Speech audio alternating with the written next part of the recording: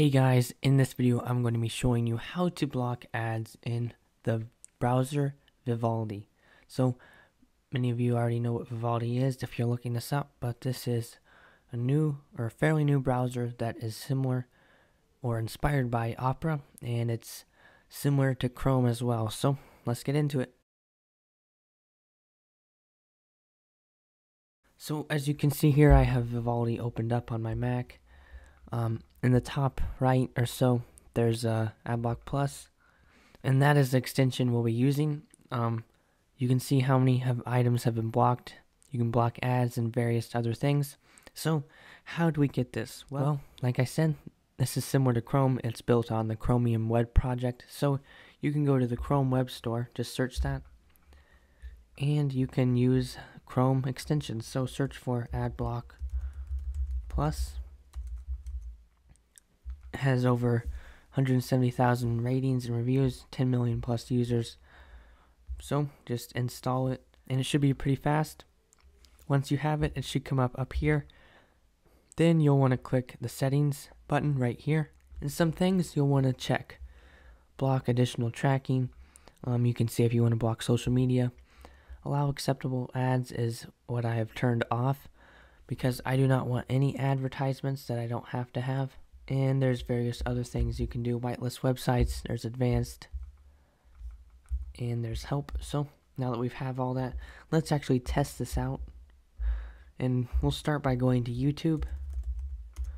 This is a popular site. People like to block ads on and it says how many ads or things have been blocked and so far it's been two. We'll search for a video and there are ads like this which is annoying and I Wish those could be gotten rid of.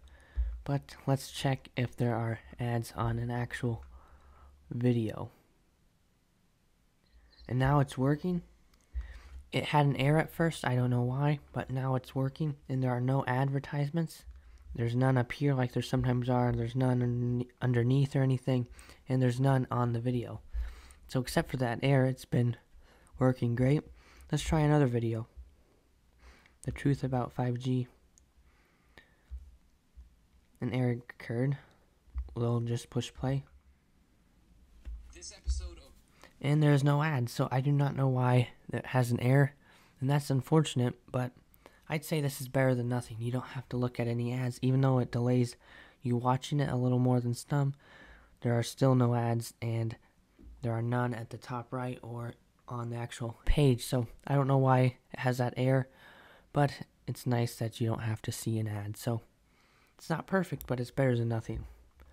Okay, so now let's try some random news website. Here's Engadget.com. Let's see if there are any ads on this page. And there are none so far.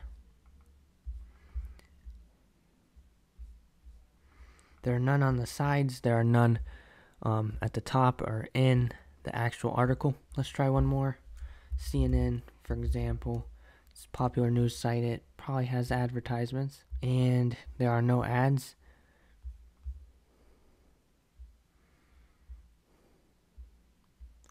There are no ads here or mixed in with the articles. Let's actually click a specific article to see what it shows. If it shows any ads. And there are none on the side, there are none in the article. And there are